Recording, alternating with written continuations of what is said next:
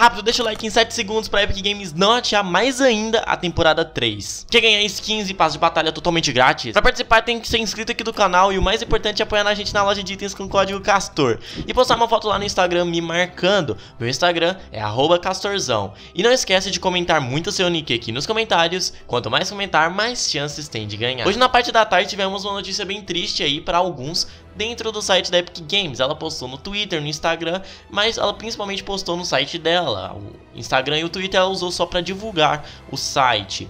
Basicamente, dentro do site delas tivemos a extensão do capítulo 2, temporada 2 do Fortnite. Ou seja, teremos aí um adiamento da temporada 3 do Fortnite, já que quando acaba a temporada 2, vem a temporada 3. Lá no tópico fala basicamente o seguinte: Olá pessoal, vamos estender o capítulo 2 da temporada 2 do Fortnite, além da data final original, que seria 30 de abril. Pretendemos lançar o capítulo 2, temporada 3, em 4 de junho. Tivemos aí um adiamento de mais ou menos 60 dias da temporada. Sim, adicionaram mais dois meses de temporada, já que estamos aí dia 14 de abril, um mês para 14 de maio e mais quase um mês ali para dia 4 de junho.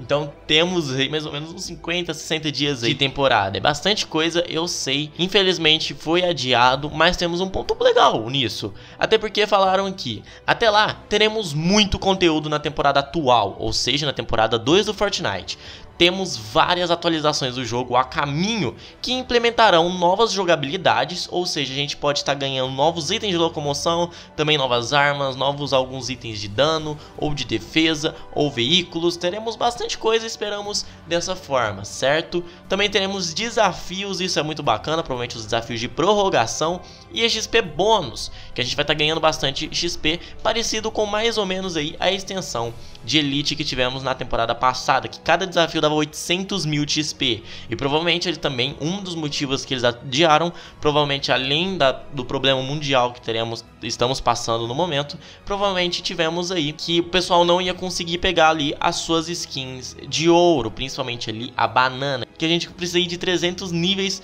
pra gente estar tá conseguindo ela. Então, eles adiaram pra gente ter mais acesso a XP dentro do Fortnite, já que não tivemos durante essa temporada, foi bem pouco, bem restrito aí a questão de XP.